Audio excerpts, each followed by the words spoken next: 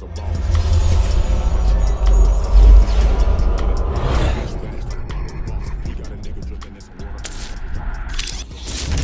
shit, big shit, big shit. Huh. It's a unique hustle, nigga. Big shit, big shit, big shit, big shit. Huh. Name another podcast like this. Check it, check it, check it. It's a unique hustle. It's your boy ECO, and I'm here with the lovely, amazing, official Mr. Maker. What's going on? Not none of you know my dad walk on. There it is. There- she back. Hey man, we up here in Las Vegas, Nevada, man, and uh, hey man, we we got some of our favorite people on the set today. I done had a good time. Hey, we hey we did what we came to do. Yes, sir. Man, hey man, we got a very very special guest. And we, she here today, but we met her at our store, right when she came with the with the bike, Supporting baby girl, her best half. aka Denise Markham. What's going on? Hey, how are you guys? man, I know already. You know, um, when I when when we first met, um, I got the pictures. See, see, I got the visuals. I keep all my visuals, and I was just happy to uh, really link with you. And uh, shout out to my boy Sage. You know what I'm saying in the building. But at the end of the day, just uh, love the bike, but want to get down into the details of what even made you get into the game. You know what I'm saying? so I know she like to try to start this thing off right. Okay. Yeah, before we get into all of that, I need to know where you were born, where you were raised, all the stuff you went through to get you to where you are today. Okay. Oh, I was born and raised. Um, I'm from Raleigh, North Carolina, but I was born in Wilmington, North Carolina. My uh, my parents are from a really small town. My dad was from um, Wallace Rose Hill. So if y'all Michael Jordan, y'all Oh, always, yeah. Oh. y'all always think Wilmington. You- He's from Wa- Wallace Rose Hill. Okay. Is where Michael Jordan is from. Okay. And my mother was from um, Creedmoor, North Carolina. So really small towns in North Carolina. Okay. Mm-hmm. And were you raised both with your mom and dad together? Nope, my mother was a single parent. Um, the other siblings, my other siblings were raised by my dad with my mom and dad, but um, she was she was quite. She didn't want to let you go? She was quite the hell raiser, so Oh. she held it down.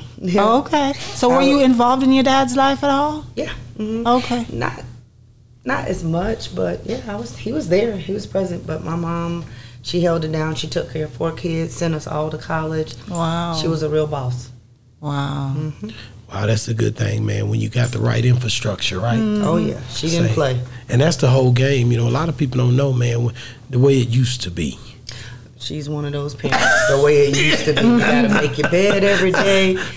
You gotta iron the clothes Iron, on Sunday. mm-hmm. Uh, the last year for the week, you gotta bring all your clothes out all for the whole week. That's dope, She man. was strict.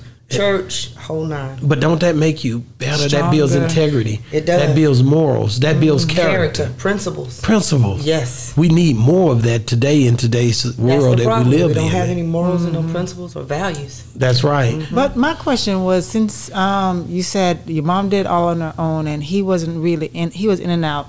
Did that affect you anyhow with you know things that you went through in the future? I had brothers, and they were. go. So my mother was older. Mm-hmm. So my brothers, or one particular brother, was like my dad. Okay, So that's why I ride There a you motorcycle because him. He had to babysit me. okay. And he had a motorcycle, and I used to be strapped to the back of his motorcycle while my mom was at work. Mm-hmm. Wow. So, yeah. So no, I had a dad. They they were father figures. They were leaders. Um, they had great jobs, and Okay. I I didn't want for anything. So That's good. I didn't struggle, so I can't say, oh, I have this terrible story about growing up. I don't. Mm-hmm. No, and, and that's dope because at the end of the day, um, we need to show that black people that they can make it, that they can do it. Mm-hmm. Yeah, you know, old school We hear, yeah, yeah, the old school thing, real work. Mm-hmm. You you might have to sing a few uh, church hymns while you're in the house. You know what I'm saying? You, to Whoopings work. Whoopings Whoopings work. work. Yeah, Yeah. a switch. Yeah. Oh, I many switch. You know, they had the switch. Uh, uh, uh, they had a switch design where they would take a little one and roll them together. Mm-mm, she slide it all the way to the end and leave like three leaves. Three on it. leaves, Mhm. so she can hear it whistle. Yeah. and it'd be a little bit green. Yeah. So it'll it'll tear them Yeah, up. it'll tear a little skin off. So Uh-huh. see, nigga, yeah, you you never got one. No, just the belt. and Uh call- uh and, no, and, they and pick no. the phone up if you and want to. Mm-hmm. whelp up a little bit. I was well. I'm not And if skin. that party line, you know that party line they got you, some your neighbor might pick the phone up anyway if you're trying to call. You might you might think you got away and be still in trouble. You but most of the a real kids didn't do that though. Like What's a real whooping? A real whooping is when you get out the shower and you wet. Oh man, That's See, they real. call that abuse now, but this is what we need. Our people needed this. I think a lot of times, man, some of the children, some of the stories that we Mm-hmm. see in today's society would be different if the school structure hadn't changed so much, Yeah. and if people really dealt with the children on a level to where they had to, you know, really stay focused enough to, you know, understand what the kids is doing, right? Oh, these kids are out of control. Cause they is in the room on the games, they ain't even outside no more, Yeah. right? I remember they made roller skates with metal wheels. Yeah, yeah, Uh-huh. yeah. Old school roller skates. Old yeah. school roller skates. Kids, kids don't go outside anymore. They don't do it. And and so now, you being a woman in this bike game, uh, I want to know: Are we okay to move into that? Yeah, because I yeah go I ahead. Because wanna you hear talk. what- I want to know, like, like, what gave you the drive to to say I want to do something with my bike that nobody else has done? And when did you buy your first bike? So But we want to go with when did you buy the first bike? First? Yes. Okay. So, I've been riding, like I said, because my since I was a kid. So I always had a motorcycle, and um, it never was just a regular motorcycle. So I worked, and I was determined I was gonna have the chrome wheels, the chrome frame. So I used to ride a sport bike before Harleys. So I done been through about eight, ten motorcycles. Dang. Yeah. So So have you ever slid one? A little bit. A little bit. Mm-hmm. Yeah. A little bit. Not enough to, to to stop. What about these crazy drivers out here that pull out in front of cars? And I know you've heard of some yeah. horrific, thi- some crazy stuff that's done happen. It What- happened to me. And how you, it have to be none but God to keep you safe out there like that. You're right. So, so what? Give me a give me a, a, a situation where something happened that kind of you know shook you up a little bit, but God kept you going. Uh, I got two. Okay. I was riding a sport bike and I was showing off with some friends and I was going at least 100 miles per hour. Wow. And came through an intersection, but the light changed and gravel was on the ground. So when I started hitting the brakes and downshifting, it was sliding. And when nothing but God, because the light changed for the oncoming tra- uh, traffic and they stopped. And I was sliding through the intersection. And then it straightened up and it let me go on through. That, that It was like God held them, go ahead on, fool, and let me through. And I made it. How That much- sounds like something in a movie. Yeah, but how much d- does that change the way you think and the way you drive when you out there? You're young and dumb. So you was younger then. I was younger then. And I was dumb.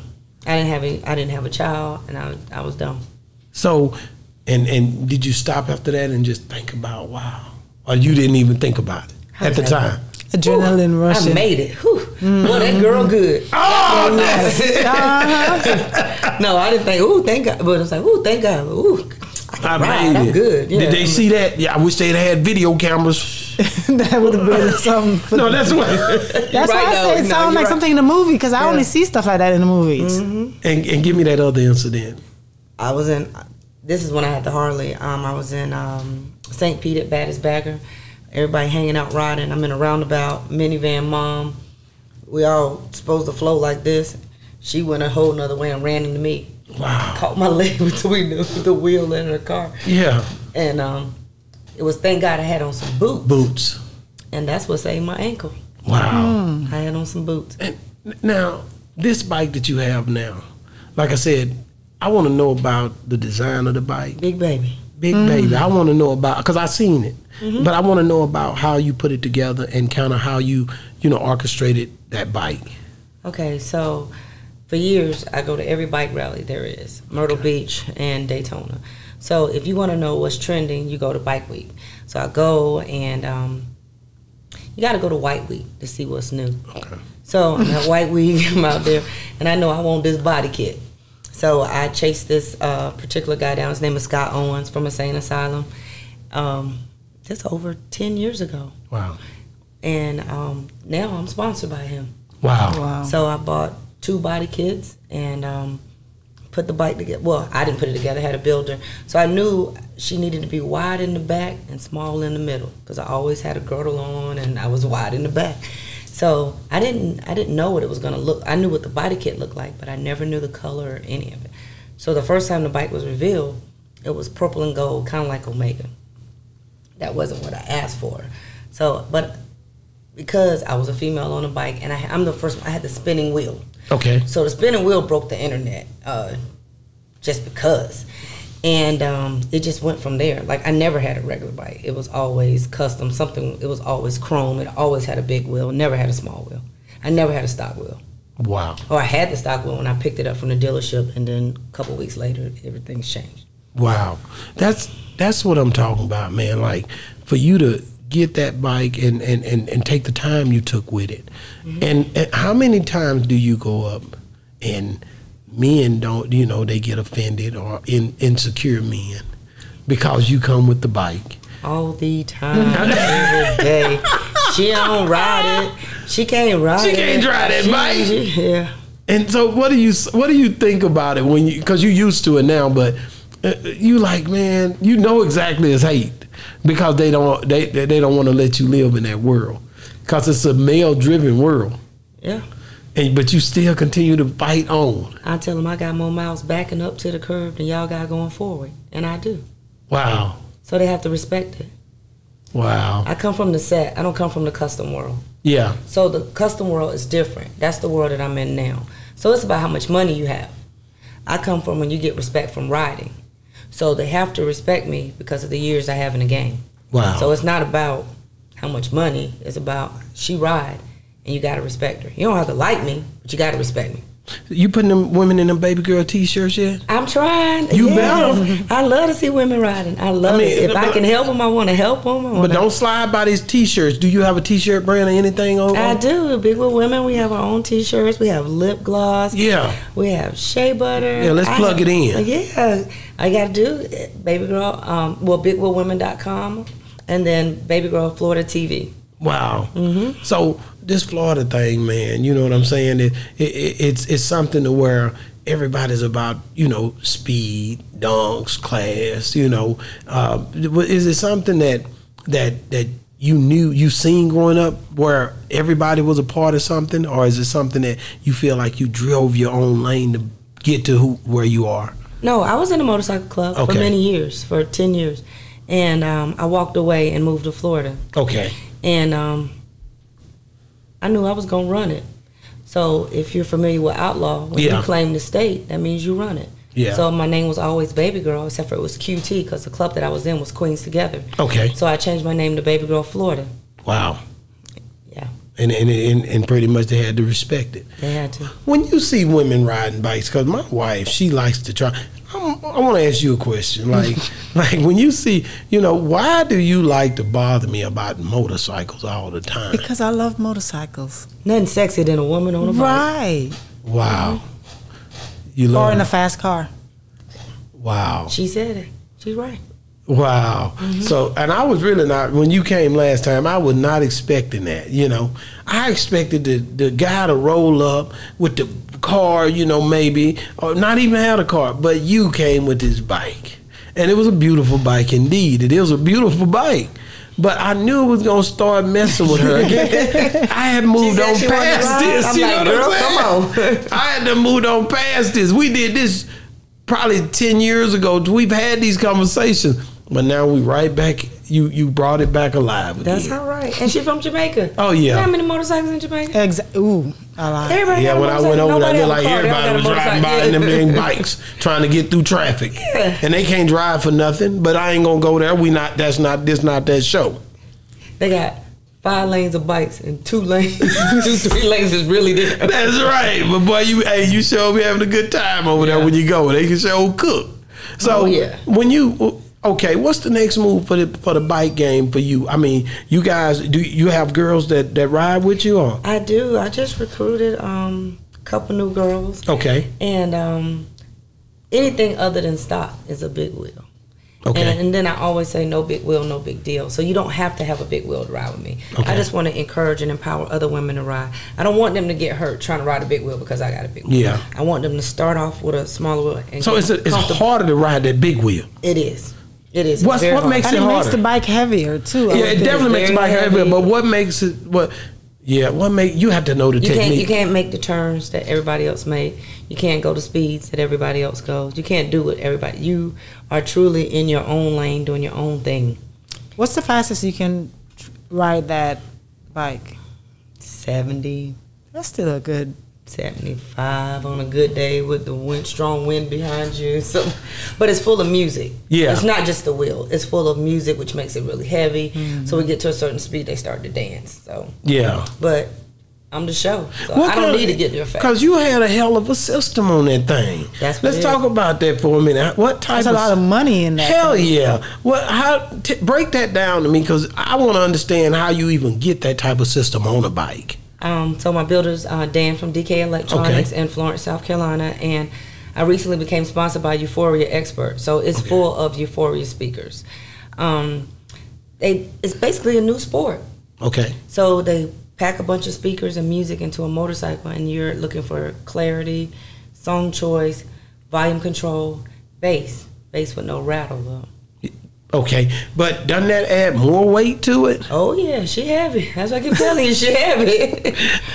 But the sound. How much would you say a system like that would cost? a lot. It's still a lot. A lot. Mm-hmm. No, so we're upwards 20, 30, 40. Wow. So there's classes like boxing, lightweight, middleweight, heavyweight, welterweight. So I'm considered a welterweight. Okay. So it's a lot of money, and um, we host these sound offs. Okay. So I have extreme class, and these guys have unlimited, over 15, 20 speakers in a bike, and they sound like a concert rolling on two wheels. Ah man, man. The one thing I do know about it, man, like I said, that thing is nice though. It ain't just got no, it ain't just got no speakers on it. You can't even really see No, that that is that can't. is there. When I looked at it last, I was like, damn, where is that? You know what I'm saying? But you, but but you hear it. Yeah. So my bags are sealed, so I have subs in the bags. Okay. And, um, so she's it's tucked away and it's clean and it's neat, so you can't tell. But it's different from when you saw me in Texas. Y'all change it up. Yeah. Changed it up. Had a little situation. What? Give me the dirt. So what had happened was, I'm be I'm gonna be real honest. First, I wasn't gonna say anything, but um, I feel like other people can learn from it. Okay. Um, I don't know if you heard them say that um, they were go. having a uh, what was it a, a muffler contest? Yeah. and you can get uh, what was it? Factory pricing for one of those uh, Rams. I was like, I'm gonna get Sage a truck. I'm gonna see if I'm louder than this other bike. So after I did it, they wanted me to go down the track. So my bike is on air. You know, when y'all Yeah. saw it sits really low to the ground. Yeah. So I was just sitting. Well, they asked me to shut it off, and so to shut it off and to bring it down, have to let the air out of it and sit on the ground. So then they told me to go down the track. Well, I shouldn't have went down the track. First of all, because I had no helmet on, Yeah. jacket or anything. But I wasn't going fast. I rolled down the track, but it wasn't raised. And when I went to make the turn, it wouldn't make the turn, so it fell over. Nothing major. I was fine. And when it fell over, when it fell over, it cracked the whole front. Are you serious? Oh yeah, y'all were there. Can I Well, I don't know. Y'all maybe No. y'all didn't, y'all didn't didn't see, see it. it. No. So I hurried up, and um, nobody knew. Only Sage knew, and um, a couple people because the police said it on the mic on their little walkie-talkies. But I yelled at the police officer so, so loud. He was like, "You scared me." I was like, "Come pick up my bike. Come here. Hurry up." Yeah. because I didn't want nobody. Nobody to see it. and when I came back around, we just flipped it around the other side, so you couldn't tell. You it couldn't tell it happened. And then I called another builder. I showed up. We had a show in Mississippi the next day. I showed up in Mississippi, turned it around so nobody knew. Still let the kids sit on it, play the music. Got back to South Carolina. Was like, we got to fix this Fix it. because I got to go to Rick Ross show. And so, what, what did you do? So I called the builder, and I'm sponsored by the wheel company. I called the wheel company, and I said, I got to remake Big Baby. So they said, okay, pick pick the wheel you want. I got to have that 34. No, that's the Yeah, biggest they go. yeah. So I got the 34, a Sane Asylum. So they said, you need Shout to- out to the Saint a Asylum. Sane Asylum. Scott Owens really hooked me up. He said, "Hey, she's got to have the Rehab 2.0, which are audio bags. We want her in the best bags. They sent the bags. Euphoria came in. They sent speakers, and we jumped into motion. They rebuilt that bike in 32 days. Damn. Sage That's had a. Sage had a painter, Mr. Seeds, Gary Seeds, and Shout out Gary Seeds. yes, sir, Go- um, Goose Creek. He painted my bike in two weeks Wow. two weeks, and um, they unveiled it at the Rick Ross show. I didn't know anything. I only knew what the wheel because I picked the wheel, and the seat guy accidentally sent me a picture. wasn't supposed to, Damn it. but that's it. But I didn't know anything else, so I saw the seat and I was like, I don't like that. But then once he did all the other stuff, and I was like, oh okay. So So when they revealed it at the Rick Ross show, how was that for you? Oh, I was tickled.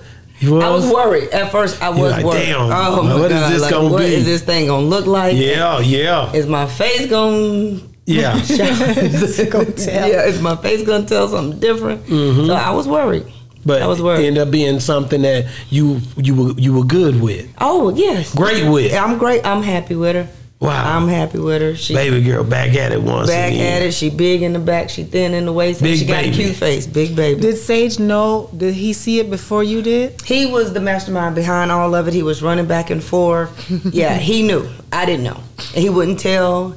He he did it because he he wouldn't have let them messed it up for you not to like it. he wanted me to know. You know, he was like, "Why would you do that?" And I was like, "I never know what it's gonna look like." He was like, "That don't make sense. Why don't do that?"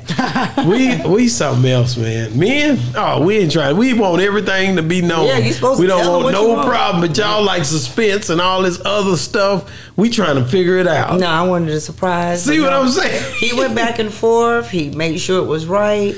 Why He do y'all act like this? This woman. Oh yeah. Damn, I gotta I get wanted, sharp I, on wanted, this. I wanted a surprise. I wanted it. Wow, that's crazy. So you get down there. Uh, do you drive it down there, or it's just sitting and Oh, show? I came through. Oh no, they unveiled it. I rode it. I came You jumped through. right on it. Oh, I had to stunt all the way. I'm the You only girl. I'm I'm the only girl. That was Excuse me, woman. the only one that was there that was doing it like that. Only woman on a motorcycle there. Are you serious? Dead serious. You killed the game. Killed the game. No matter how you look at it. with with pink and purple glitter. what the boy looking like? Yeah. Oh, Oh, she in the building. I came through. Came through. So and and that was something else too. Just to go down there. How long? What was that like being at that uh, Rick Ross? Uh, you know the the whole setup. Just the show. His eye. Is I it could have been better. It was a little dusty there. Yeah, it, it was. I seen it on online mostly, but Yeah. and I didn't get to go. But at the end of the day, I seen y'all, and like I said, when I see my people, I'm like, yeah, you know, I got to stay tapped in no matter what. You know what I'm saying? See, women. See, y'all will bake a cake. Yeah. We'll put the icing and the sprinkles on it. Correct. I tried to tell them, let me help you with the bike part. And Cause the same y'all frame off and all that. I got the same. I got a frame off. yeah. My frame not black. It's purple glitter. But Oh, I, so you can do all the stuff that the cars can do. I got all the same money that those cars. My one wheel costs what they spend for four. No. Ooh, stun on them. Y'all didn't hear that, did you? She said her one wheel My one wheel costs 'Cause more than what y'all paid for four. Yeah, That's heavy. that's heavy. Hmm. And, and at the end of the day, they gotta respect that. They do. They didn't give me no Cause love. money, money talk. Yeah, but that's cause they probably uneducated. No, they know who's They big knew. in it. They seen So they was were big. hating. You can't. You ain't gonna be able to dice and Yeah. slice. They hating. Yeah, they give me a little bit, but that's all. But that's good. That's Because okay. if ain't nobody, hey, you ain't, if you ain't got no haters, you ain't popping. You ain't popping. well, man, hey, man, just we we definitely thank you for coming on the show, man. Give me your top um, three bikes. No, top three. Well, I would say riders, Top three. Female Okay. riders, because you know you don't have a lot. No, there's a lot of women. So the percentage is up to 42% of women that Really? are buying Harley Davidson. Yes, yes, ma'am. Well, so who's the top three riders? Like you got, you know Um, who that is? so Porsche To Porsche, her? Porsche Taylor from Black Girls Ride. Okay, And where does she? Where is she out of? She used to be out of New York. I think she's out here. I think she's in California on the West Coast now. Okay. Number But um, she's sponsored um, by Indian. And, Okay. Um, there's another girl. She's back in North Carolina. Her name is Too Tough. Too She- Tough. Too Tough. I like that name. she comes from Ebony Angel. She's one of the first. She's one of the first female uh, motorcycle clubs. Wow. And when I say this, she can ride. She can ride. Yeah, I, I grew up and I rode with some of the best women to do it, and Wow. we came together and they threw some of the best events. There, there's ever, you know. Before you say number three, who is? What woman started this? Do you even know the name of the Bessie, person? Br- Bessie Stringfield. She started it. What Bessie year? Stringfield. hmm So now everybody does the Bessie Stringfield ride. Wow, What year did she start?